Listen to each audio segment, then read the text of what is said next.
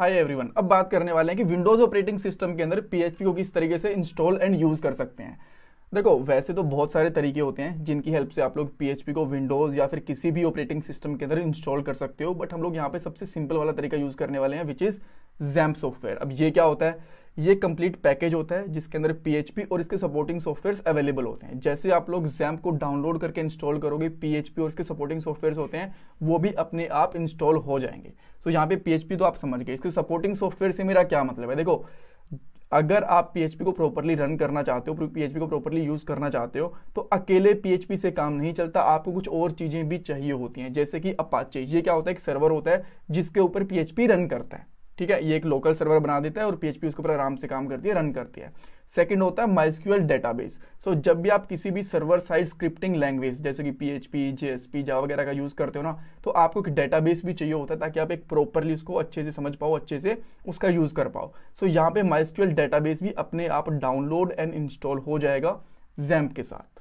Right right? अगर points की बात करें, सबसे पहले हम लोगों को जैम्प डाउनलोड करना है, इसको इंस्टॉल करना है, ये फ्री ऑफ़ कॉस्ट होता है और बहुत इजीली आप इसको डाउनलोड एंड इंस्टॉल कर सकते हो फिर हम लोग अपाचे सर्वर को स्टार्ट करेंगे ताकि पीएचपी के कोड को आराम से रन कर पाए फिर हम लोग एक फोल्डर बनाएँगे पीएचपी को रन करने के लिए और एक फ़ाइल भी बनाएँगे उस फ़ाइल को हम लोग एग्जीक्यूट करके देखेंगे चेक करेंगे प्रॉपरली काम कर रही है कि नहीं कर रही है, इससे आपको यही पता चल जाएगा कि पीएचपी प्रॉपरली इंस्टॉल्ड हुई है या नहीं हुई है। ऑल राइट तो सिंपली आपको क्या करना है? अपना कोई भी ब्राउज़र ओपन करना और इसके अंदर लिख सकते हो आप लोग जैम्प डाउनलोड सो जो आपको फ़र्स्ट लिंक मिलेगा, इसके ऊपर आप जा सकते हो अपाचे फ्रेंड्स डॉट ऑर्ग वाली वेबसाइट के ऊपर। और जैसे यहाँ पे जाओगे ना, आपको बहुत सारे ऑप्शंस दिखेंगे।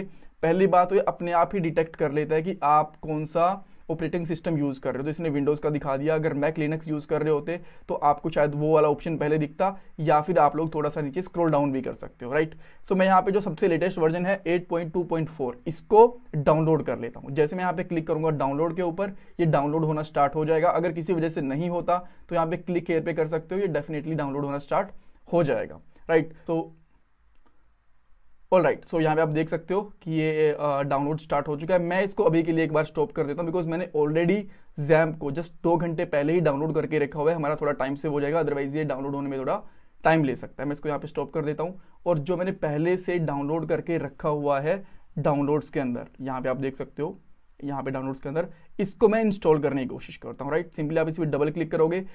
इंस्टॉलेशन बहुत सिंपल है। जैसे आप लोग दूसरे सॉफ्टवेयर्स को इंस्टॉल करते हो सेम उसी तरीके से इसको भी आप लोग इंस्टॉल कर सकते हो इसके अंदर आपको कोई प्रॉब्लम नहीं आने वाली। सो so, अगर हम लोग इसको मिनिमाइज करके देखते हैं तो मे बी इसकी इंस्टॉलेशन या आप देख सकते हो ये एक इंपॉर्टेंट वार्निंग आती है। अगर आप चाहो तो इसको इग्नोर कर सकते हो ये जस्ट कुछ परमिशन वगैरह से रिलेटेड है। देन आप लोग सिंपली नेक्स्ट क्लिक करोगे यहाँ पे इतनी सारी चीज़ें हैं जो इसके साथ डाउनलोड होगी। सो so, इनिशियली अगर आप बिगनर हो तो इनको छेड़ने की ज़रूरत नहीं है। डायरेक्टली आप इंस्टॉल कर सकते हो बिकॉज़ इतना कुछ बहुत बड़ा स्लो नहीं करने वाला आप, आपके सिस्टम को ज़्यादा ये। देन ये पूछेगा आपसे कौन से फोल्डर में इसको इंस्टॉल करना चाहते हो? सी ड्राइव एंड जैम का फोल्डर दैट्स ओके देन हम लोग नेक्स्ट पे क्लिक करेंगे और ये कह रहा है कि अच्छा ये फोल्डर एम नहीं है। मे uh, बी ये फोल्डर पहले से बना होगा सो so मैं यहाँ पे इसको एम कर देता हूँ फोल्डर को राइट right? एक बार के लिए। अगर आपके सिस्टम में ऑलरेडी एम है तो या फिर ये क्रिएटेड नहीं है तो ये वाली uh, जो वार्निंग थी आपको नहीं मिलेगी। Then just click next language select करने के लिए बोलेगा और जो आपको बताया कि ठीक है setup is ready to being install next पे क्लिक करो और ये इंस्टॉलेशन आपकी स्टार्ट हो जाएगी। देन ये अगेन आप देख सकते हो यहाँ पे खुद से एक और इसने जैम्प का फोल्डर बना दिया और यहाँ पे इंस्टॉलेशन स्टार्ट कर देगा ये। ऑल राइट सो जैम्प का सेटअप कंप्लीट हो गया है। मैं इसको फिनिश कर रहा हूँ यहाँ पे। और अगर अगर अब आपको ये चेक करना है कि जैम्प इंस्टॉल हुआ है कि नहीं हुआ तो सिंपली वैसे तो अपने आप ही जैम का सेटअप आ जाएगा। अदरवाइज़ यहाँ पे अगर आप सिंपली लिखोगे ना जैम तो आपको यहाँ पे भी जैम आपके इंस्टॉल्ड सॉफ्टवेयर के अंदर दिख जाएगा राइट सो ये ऑलरेडी इंस्टॉल्ड है। सो so, मैं यहाँ पे क्या करता हूँ इसको स्टार्ट पे क्लिक करता हूँ। अब स्टार्ट क्या करेंगे? जब अपाचे स्टार्ट करेंगे तो हमारा अपाचे सर्वर स्टार्ट हो जाएगा। पीएचपी वगैरह यहाँ पे आराम से रन होगी ठीक है? अपाचे भी स्टार्ट कर दिया हम लोगों ने। सो so, हमारे जो ये फ़र्स्ट थ्री फोर स्टेप्स है ना ये वाले कंप्लीट हो चुके हैं। अब हम लोग बात करने वाले हैं कि फोल्डर कैसे बनाएँगे और फ़ाइल कैसे बनाएँगे। सो so, फ़ाइल और फोल्डर आपको बनाने कहाँ है ये बहुत इंपॉर्टेंट है। ऐसा नहीं है कि आप कहीं पे भी ये फाइल्स एंड फोल्डर्स बना सकते हो।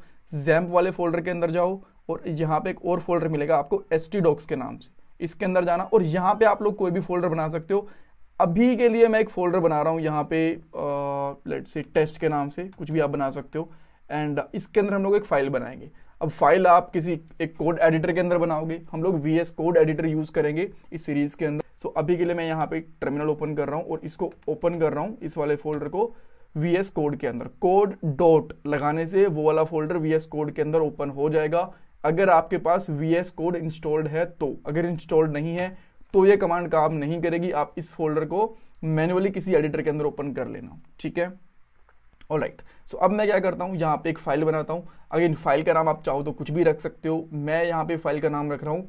Index dot J S index not J S actually index dot P H P right मैं एक्चुअली जे एस के साथ भी काम करता हूँ। तो इसलिए जस्ट कभी कभी uh, बोल देता हूँ। सो मैं यहाँ पे लिखने वाला हूँ index dot P H P और अब इसको चेक करने के लिए कि P H P properly install हुई है कि नहीं हुई है। हम एक छोटा सा प्रोग्राम लिखेंगे। मैं यहाँ पे टेन प्लस टेन लिख रहा हूँ और इसका आउटपुट मुझे ट्वेंटी मिलना चाहिए सिंपली राइट ओके और ये इको वगैरह नहीं दिखना चाहिए, बस ट्वेंटी मुझे इसका आउटपुट दिखना चाहिए। अब मैं यहाँ पे आता हूँ और यहाँ पे सिंपली लिखूँगा लोकल होस्ट लोकल होस्ट के अंदर यहाँ पे टेस्ट लिखूँगा। जो भी मैंने फोल्डर का नाम रखा था और यहाँ पे आप ट्वेंटी देख सकते हो। इंडेक्स डॉट फ़ाइल जो डॉट पीएचपी है, ये ओपन करोगे तो भी दिख जाएगा। अदरवाइज़ आपको डायरेक्टली इंडेक्स डॉट वाली जो फ़ाइल होती है ना, अपने आप एग्जीक्यूट हो जाती है फोल्डर नेम के साथ और यहाँ पे आपको दिख जाएगा। ट्वेंटी दिख गया। हम लोगों ने पीएचपी को इंस्टॉल कर लिया इसमें कुछ क्वेश्चन है, कुछ डाउट है तो मुझे कमेंट सेक्शन के अंदर पूछ सकते हो।